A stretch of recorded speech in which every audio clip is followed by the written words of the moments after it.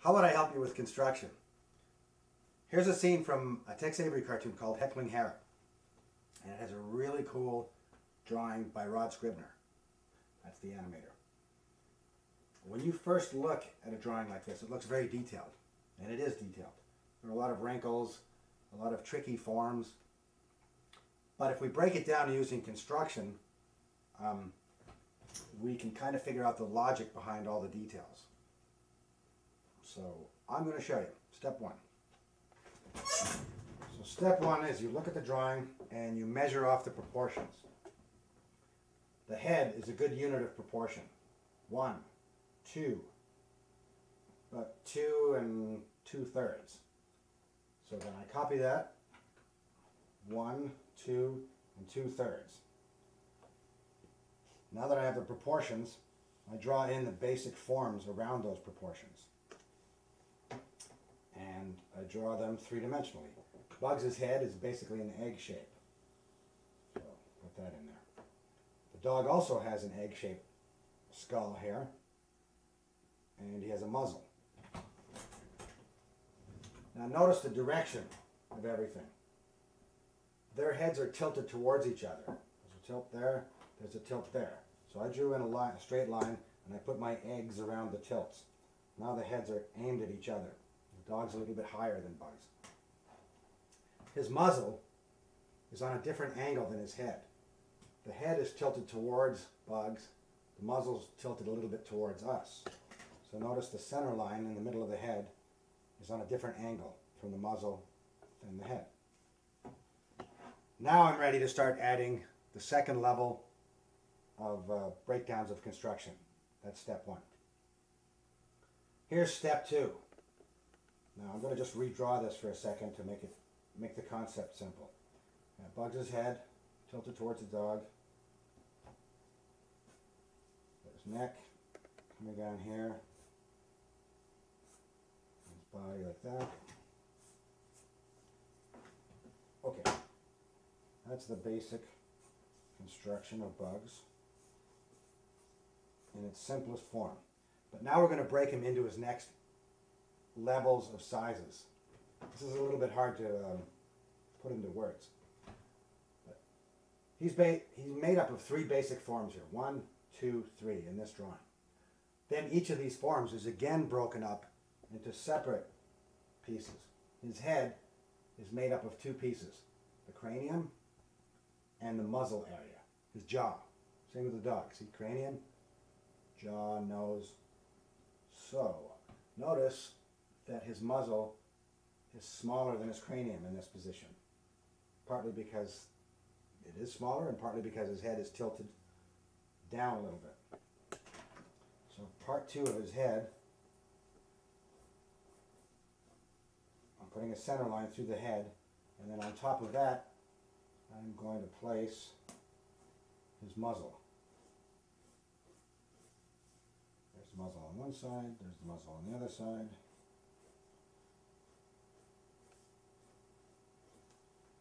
So that is step two. It's the second level of forms. The first level was one, two, three. Head, neck, body. Then the head is broken up into one, two.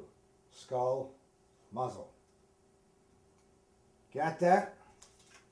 So if we go back to step one, here's my construction of the basic forms of the picture.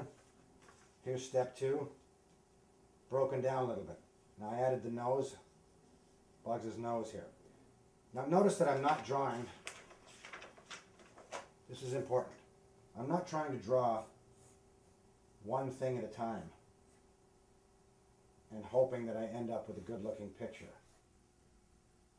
This is how most people, when, they when they teach themselves how to draw,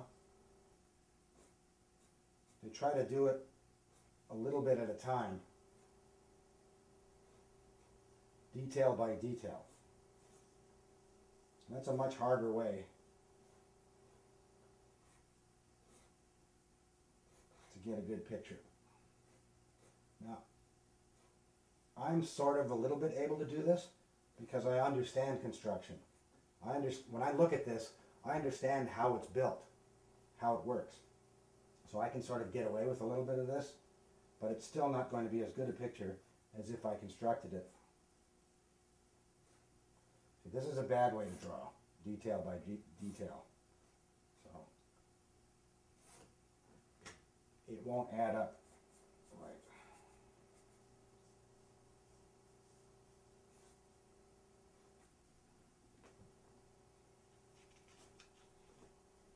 right. Don't draw like that.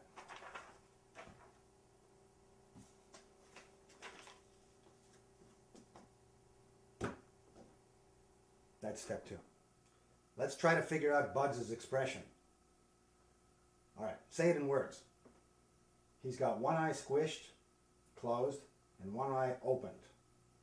He also has his cheek. This whole side of his face here, the cheek and the eye, are squashed, while this side of his face are squeezed. Now we have to draw that, and we don't want to draw all the details. We just want to get the basic expression. So the basic expression is between the eyes and the mouth.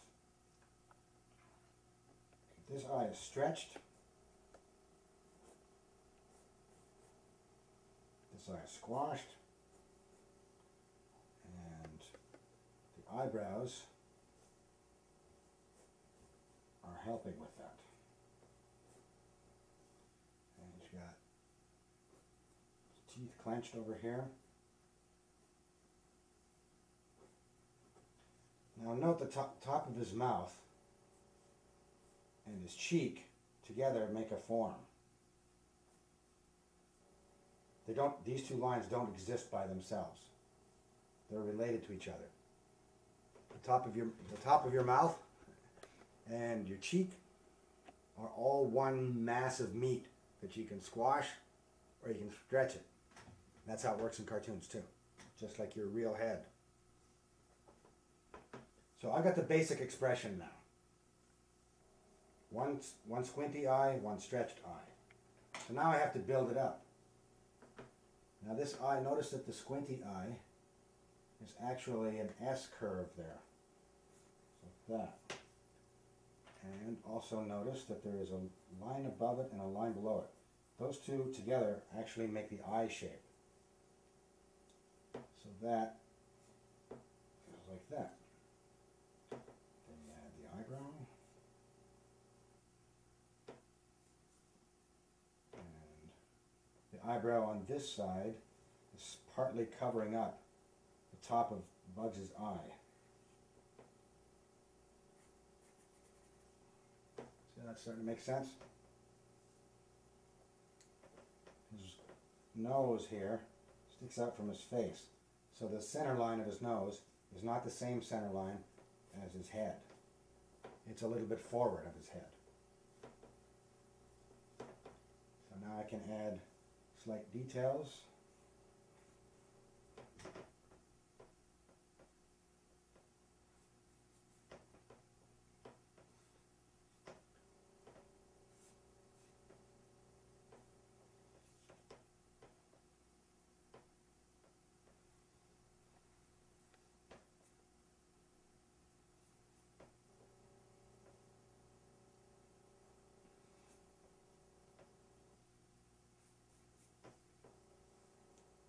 Teeth. Before you draw each tooth, draw the overall shape. Then break it into two. See how it's starting to make sense? Each layer of details is laid onto the, the larger shape underneath it.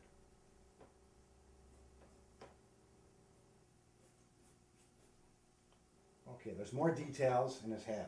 But the rest of the details follow the major forms that are there. You can see that there are extra uh, brow furrows above his eyebrow. Well, those obey the physics of the main eyebrow. Here's your main eyebrow. That's the one that tells you the expression. And the other ones basically follow it, but also notice that they're not parallel lines. They generally follow each other, Same thing with this. One, two. All of these lines wrap around the forms of the head. He's got three hairs, but before we draw three hairs, let's look at the overall shape of the hairs. And where the, and they come from the center line of his head. Now you can split it up into three. So draw the general shape first, and then you fill it in. Okay, now he's got more lines and wrinkles over here. Now what are they? This is part of his cheek. It's just that his cheek has two colors. It's gray and white. So I'm going to put the main form in there that comes off the head and the cheek. Then there's just flowing along that. Broken into two. What are these lines here? Those are the squint lines that go with his eye. Notice they also wrap around his head. So all these forms are wrapping around the larger form.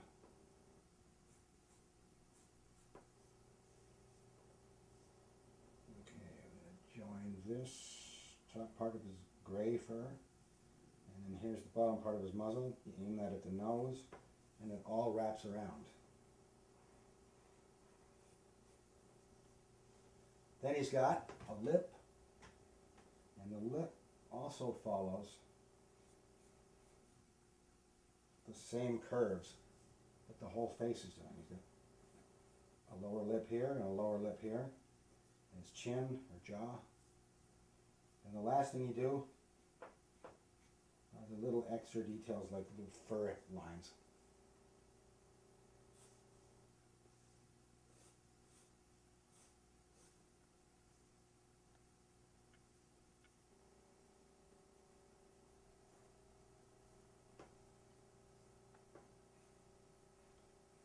now all the details make sense. They all follow the basic forms.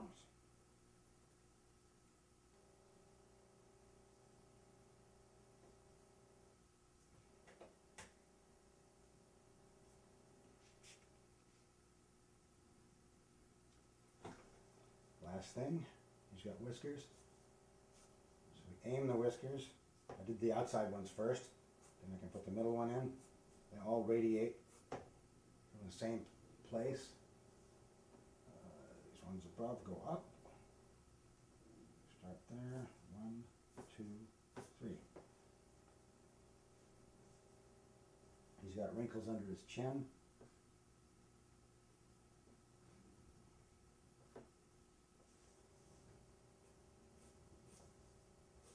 Notice that all the lines are organic. There are no parallel lines anywhere.